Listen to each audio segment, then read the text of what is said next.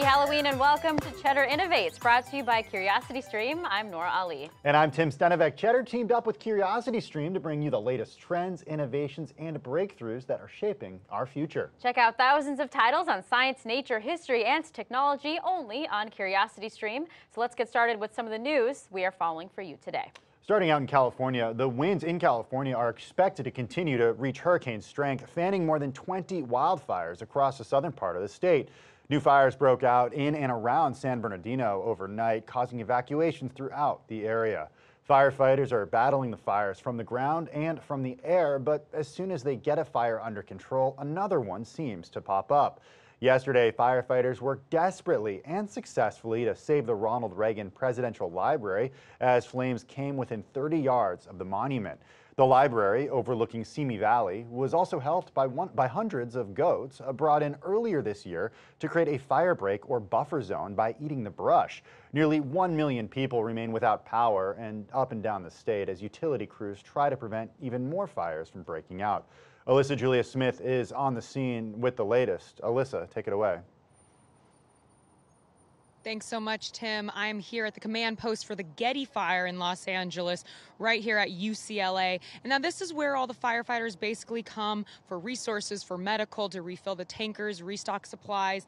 Um, and this is also where they sleep. So this is essentially their home base for all the firefighters tirelessly working on the Getty Fire. But there is some good news for the Getty Fire here. Most evacuations have been lifted here around that area. It's now 39% contained, which is a huge uh, huge stride. It's only about 745 acres, so there's a lot of good news here in Southern California. Now we're going to go to some of those other new fires you were touching on, Tim. The newest fire is the 46 fire. This one broke out overnight around 1:30 in the morning, and it's about 300 acres and 5% contained. This is in the Jurupa Valley, and uh, it is spreading over to Riverside area.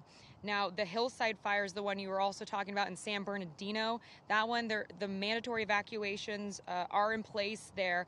That one broke out last night as well. And it's about 1:30 about 1:30 a.m. and it's crossed around 200 acres. Uh, now, they just held a press conference, and this is what we know: six homes have been uh, damaged in two buildings. There's 500 firefighters on that scene uh, in San Bernardino, and it's zero percent, uh, or now it is five percent contained, as mentioned mentioned previously. So the Easy Fire, this is the one we were co- covering yesterday. This is in Ventura County, which is right over the hill here. 30,000 people are under mandatory evacuation orders, and uh, that one is over 1,600 acres. It's 5% contained as of 7:30 a.m. this morning Pacific time. We have a thousand firefighters on the scene there. Um, basically, up north, uh, one glass update for you: the Kincade Fire. We have some progress there as well. Uh, it's 45% contained, which is a lot of progress, and that is the one, of course, in the Sonoma Valley area. So we're going to keep it there uh, and send it back over to you guys in New York. From Alyssa Julia Smith on the ground in Southern California. Stay safe, Alyssa. We'll, of course, bring you more updates as we get them on those fires. In other news here, a new report by climate scientists warns that we may have underestimated how much of the global coastline will be underwater in 30 years. The new research published in the journal Nature Communications used AI to more accu accurately calculate land elevation. The study found that 150 million people in the world are currently living in areas that will be under the high tide line by 2050. Global sea levels are expected to rise between 2 to 7 feet over the course of the 21st century. The map on the left here that you're seeing shows the old predictions for rising sea levels by 2050, and the map on the right shows the new outlook. Places that will be under the high tide line include a quarter of the population of Vietnam, much of Bangkok, downtown Shanghai, and nearly all of Mumbai. The scientists argue that cities need to heavily invest in protective barriers like seawalls in the coming years. So essentially this research is highlighting that countries have to take action even sooner than expected. There's also this worry of cultural heritage disappearing. One of the cities, Alexandria, Egypt, of course founded by Alexander the Great, could be lost to rising waters. So time to take action. Absolutely time to take action. It's a time where the, the entire world needs to come together to understand that the, uh, the, the, threat from this is absolutely real, real, and they need to start doing something, and not just to protect these cities, yeah. but also changing the way that we live, changing right. what we eat, changing how we get to places, mm -hmm. uh, because the repercussions of this are far, wide, and vast. I mean, if you think right. about where people live, the types of food they get. Um, and, and the story that Alyssa was just talking Yeah, about right. just now Yep. climate change, heavy winds, dry conditions in California, these things are not unrelated. And it's something that we need to talk about uh, and we need to learn more about. Very true. Not just regulation from a federal or global level, even it's individuals like us making new decisions. Exactly. Well, the U.S. government is offering a contract to a private company that researches UFOs, but officials are not necessarily interested in aliens. The company called To the Stars Academy, or TTSA, was started in 2017 by former Blink 182 guitarist Tom DeLonge. That year, it made a splash by becoming the first company to release videos showing Navy pilots interacting with what could be a UFO. But the TTSA is interested in more than just extraterrestrials. It also has a division focused on developing new technology. And that is why the U.S. Army has reportedly signed the company to a cooperative research and development agreement. The five year contract will provide TTSA with nearly a million dollars in funding. In exchange, the company will help the Army to research and develop cutting edge technologies, ranging from quantum communication to energy propulsion.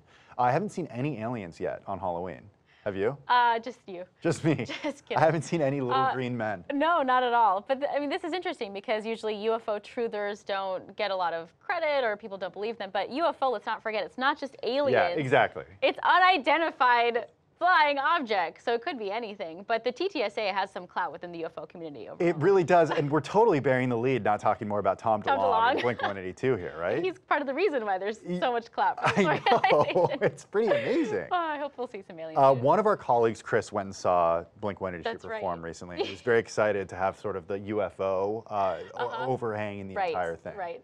He's really happy about it. Love it. Okay, in other news here, NASA is sharing some spooky space pictures just in time for Halloween. NASA posted this image of a galactic ghoul captured by the Hubble Space Telescope.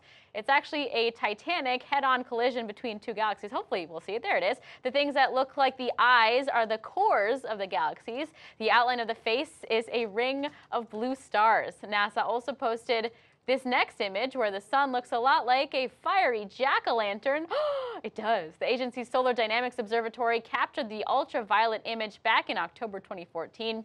The areas that look like the eyes and mouth are brighter because they emit more light and energy. It shows the magnetic fields hovering in the sun's atmosphere. I guess if you're looking for it, it can look like anything, but that one I think is good. That's the sun legit. looking like a pumpkin. The That's first one, I didn't really buy the first one. That's absolutely legit. it's, Yeah. it's absolutely But legit. the best thing that, about this is what the agency does Uh-huh. is, is they're very good at marketing. And they're very good at garnering Yes, interest, right? yes. And creating interest around this stuff. And I think it's great because it gets us talking, it gets kids interested, and it gets people interested in learning more about it. in space because commercial space flight is going to be a thing very soon. Well, coming up, virtual reality is taking on a scary cult classic. We're going to hear from the producer of The Exorcist Legion VR. Right after this, I'm already a little scared.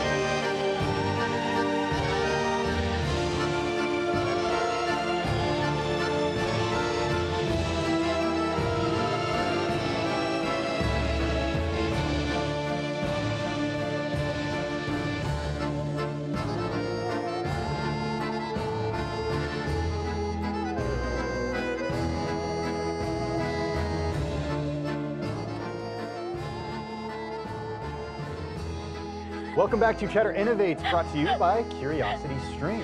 That's us, Tim. Look- Did you see that? That's that's us. No, no, that's us. You didn't even notice. I didn't. I wasn't oh looking at gosh. the TV. I'm a space at woman words. and you're Indiana Jones. I guess. I love it. Okay, cool. well, did you like that? I like that. I can't believe you didn't I, notice. I didn't notice at all. Oh my I God. Totally That's just cute, reading guys. the words on Yes, the screen That's instead. what we do for our job. Okay, Yeah. moving on here. The global. Good work, everybody. Good the work. room. The global funny. I would be augmented- in a second. Sorry for ruining your read. The global augmented and virtual reality market is expected to hit $16.8 billion in 2019, according to Statista. As the technology advances, VR in the gaming space becomes more realistic and, in some cases, more scary. The Exorcist Legion VR is an interactive take on the cult classic horror film. And in the spirit of the holiday, here's a preview.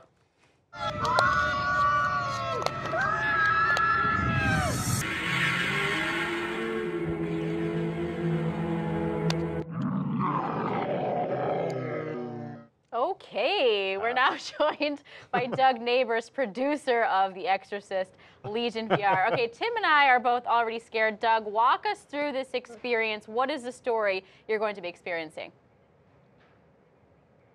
Sure. Well, this is based on um, obviously the Exorcist franchise. Um, we um, focus particularly on the third uh, film in the franchise, The Exorcist 3, which was originally titled Legion. And uh, it's you start off a- in a uh, police department, so this kind of has the framework of a police procedural, like very much like a television series.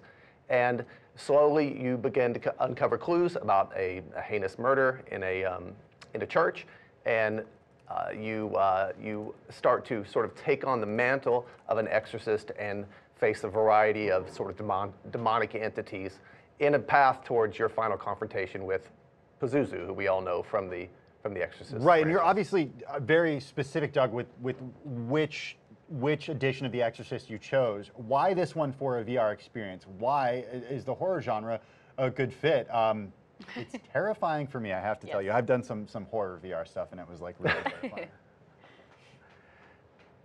Well, we, we chose this particular uh, um, uh, film in the franchise just because it, it seemed to fit well into our episodic model. And, uh, our company FunTrain produces specifically episodic VR experiences. So first of all, that this one fit just fit perfectly into our our uh, mold. But also, in, as far as horror in virtual reality, we it's just I mean, kind of, kind of seeing is believing with this stuff, but uh, horror just works so incredibly well and can give you that immediate scare and that immediate sense of uh, fear that you can't really get anywhere else, whether it be on television or films. It's just, uh, it's so immersive. In fact, we have, we've, we've had many reports of people not being able to make it all the way through. My own brother, in Yeah. fact, can't make it all the way through. yeah, this well, that makes two of us right now. Yeah, I don't think can I'd barely be make it through this make it. interview. Yeah, well, a lot of No companies offense. though, a lot of companies are trying to figure out, right, what's the right and the best use case for virtual reality. You've worked in entertainment for almost 20 years. Yeah. Why did you decide to tap into VR? Well, it, it, I put a headset on about four or five years ago, and it pretty much blew my mind. I, I was, um, I've been working in film and television, as you said, for quite a while, and I just, I saw this. I saw once I, once I sort of got bitten by the bug, I realized that virtual reality is the next step in in the entertainment medium. You know, it's it's the, it's the proscenium dissolves. There's no more. There's no more screen in the movie theater. There's no more frame around your television, but it's you're in it and it's all around you. And I, that to me was, you know, as someone that's always trying to give audiences a more and more sort of compelling and immersive experience, this just seemed like the perfect perfect fit for us. And um, yeah, I, I'm, I'm curious now that you've spent four or five years immersed in this world, what do you see as the future of VR beyond entertainment? How do you think it'll impact people's lives? That's, that's a great question. Um, news media, for example. I mean, uh, right now, as you know, we're dealing with these. Los Angeles has these these terrible fires, and it's one thing to see it on a YouTube screen, or it's one thing to see it on a, on a television screen, but um, I really see virtual reality taking a role, um, a sort of more active role in news media, uh, and actually putting users in the midst of that fire in 360 degrees all around them live. And I think that that's not very far away at all. I mean, I was just, I attended a Post Malone concert live the other night in virtual reality on the Oculus Quest platform, and I was just blown away by the possibilities.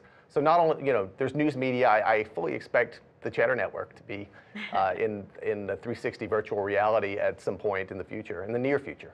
Yeah, Tim and I could just be in your living room bringing you the yeah. news, right? We'll do it. I mean, I got a your chance to play with Oculus Quest Yeah. Please over the weekend. It come was- over. Yeah. We'll, Exactly. we'll be there. I'll be there in person too, so be careful, Doug. Yes, okay? Doug, Uh, before we let you go, Doug, tell us the price tag on this particular Exorcist VR experience and what platforms can it be used on?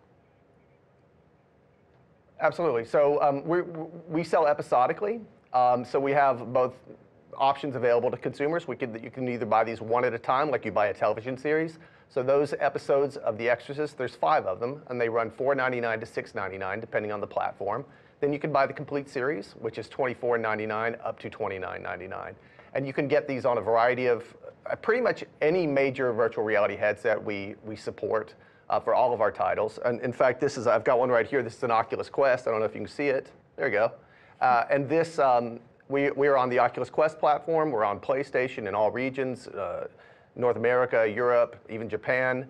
Um, we're on the Steam platform uh, for the Valve Index, et cetera. So we're we're pretty much anywhere you can find uh, virtual reality.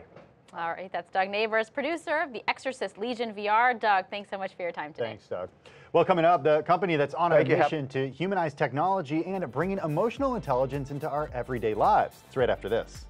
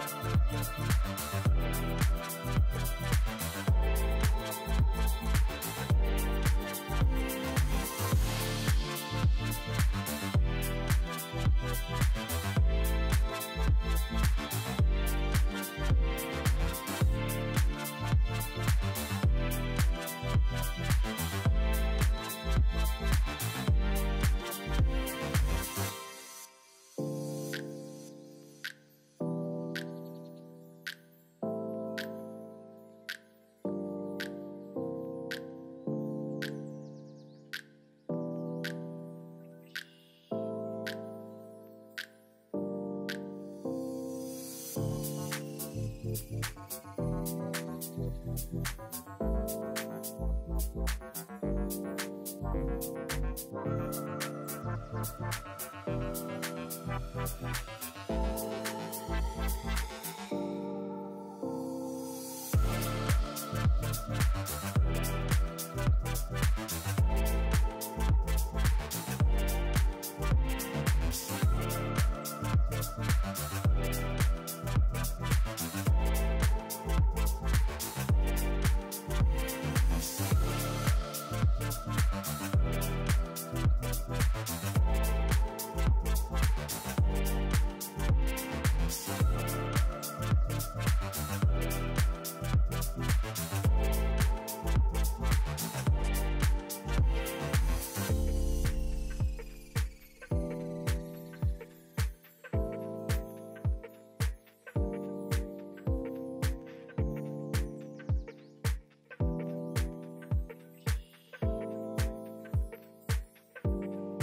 Welcome back to Cheddar Innovates, brought to you by CuriosityStream. The category of emotion AI is a subset of artificial intelligence that can understand, simulate, and react to human emotions. Emotion AI can be applied to multiple industries and business functions and is expected to become a multi billion dollar industry. Our next guest is a leader in this category and is on a mission to make tech feel more human. Joining us now is Rana El Kaliouby, the CEO of Affectiva. Rana, it's so great to have you on the show. How are you humanizing technology? Uh, thank you for having me. Very excited to do this. Uh, we are on a mission to humanize technology, and, and the premise is really very simple. If you look at how people communicate, only about 10% of how we, communicate is in the actual words we use. 90% of it is nonverbal. It's in the facial expressions we use, our gestures, our vocal intonations. And right now, technology is completely oblivious to these nonverbal cues, and we're we're basically building um, algorithms that can capture these facial expressions, vocal intonations, and then there's um, you know a whole slew of applications of where you can integrate this type of uh, insights and, and data. Yeah, Rana, walk us through some of those applications. Specifically, what are some industries that humanized AI can disrupt? Um, yeah. Um, you know, I, I think at, at, the highest level, we really believe that this is going to become the de facto human-machine interface. Uh, we're already seeing signs of that. So our, you know, our technologies are becoming a lot more conversational, and I think in the next few years we're going to see them become uh, our devices become a lot more perceptual. So they'll have eyes and ears, if you like, um, and they will interface and interact with humans just the way we interact with one another through, you know, through emotions and through empathy. Um, shorter term, um, there are a lot of uh, industries that are already integrating this type of technology. So, as one example, we partner with uh, market research firms that um, and, and, companies that really want to understand how do their um, you know the emotional engagement of their consumers. How do their consumers engage with their content, with their products?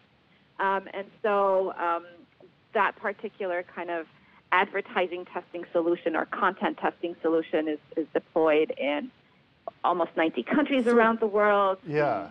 So I guess yeah. I, for the uninitiated, give us an idea of how you build this technology and what exactly goes into it. Sure.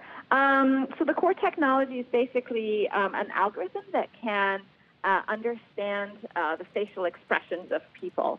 Um, and the way we train this is we use deep learning and computer vision and hundreds of thousands of examples of people smiling or smirking or frowning and, and we uh, feed that data to the deep learning algorithm, and then it learns, you know, this repertoire of facial expressions, and it maps it to a number of emotions like joy or, you know, confusion or excitement.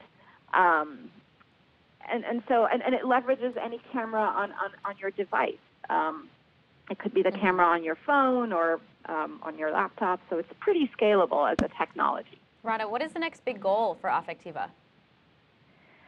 Yeah, we're really focused on the automotive industry right now uh, to improve road safety by understanding um, driver impairment like uh, drowsiness or distraction, but also like just building an in-cabin sensing intelligence to really uh, figure out how many occupants are in the vehicle, what are they doing, what's their experience like, and partnering with car companies to improve that transportation experience. Um, so that's our big goal. We want to be in millions and millions of, of vehicles over the next few years. Well, if it can help with safety, I'm all for that. Rana El Kaliouby, CEO of Affectiva, thank you so much for joining us on Cheddar Innovates. And coming up, a new World Series champion has been named. So how is technology playing a role in America's favorite pastime? We'll find out next.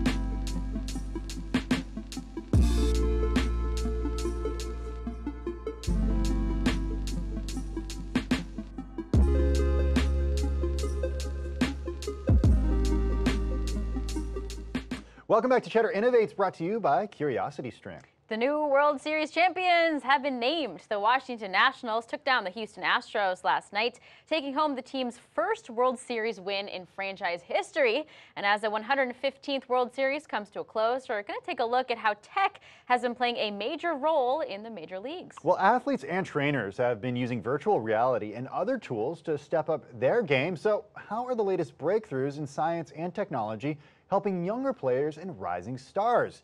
Curiosity Stream dives into tech's role in predicting a pro. Take a look.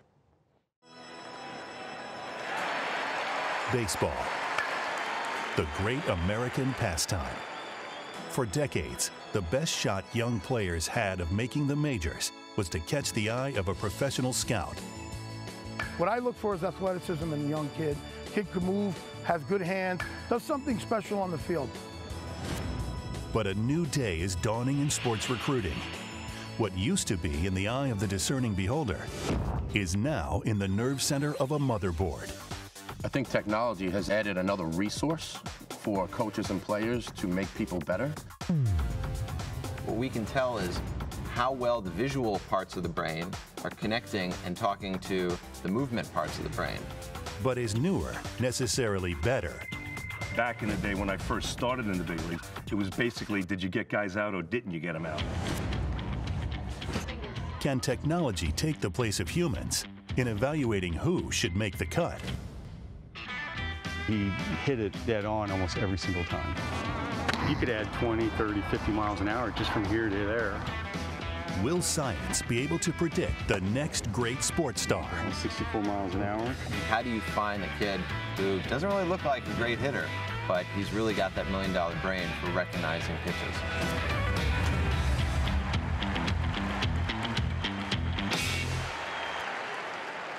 Predicting a Pro is available now only on Curiosity Stream. Want more top tier content on science, nature, history, and technology? Stay curious and head over to curiositystream.com to sign up today. And to tap into some of the history of the World Series, Tim and I are going to play a quick round of World Series trivia. Are you ready, Tim? I'm ready. Okay, first okay. question's for you. What year was the first World Series? 1908, 1898, 1903, or 1912? I'm going to say 1903.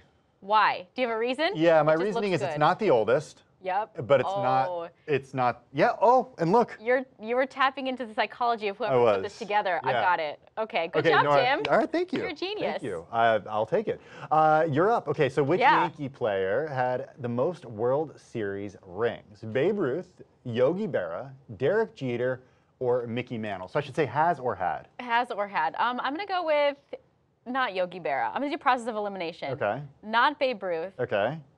I don't know. Mickey Mantle. I don't think it's Is Derek it Mickey Jeter. Mantle? I don't know. Ah, oh, Yogi, Berra. Yogi Berra. Oh, You're man. I love okay. Yogi Berra. Uh, well, that was fun.